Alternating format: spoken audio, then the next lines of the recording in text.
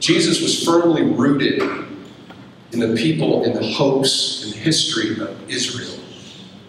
In this promise that God made to Abraham way back when, to his son Isaac and his son Jacob, and then to Moses and the people of Israel, saying, I will restore you into the land that I promised. All those dreams that you had, hold on to those. Because if you follow my commands, if you truly love me with your whole heart and mind, if you keep your eyes on me, and you seek me first instead of all those things, I will bring you to a place better than you can even imagine.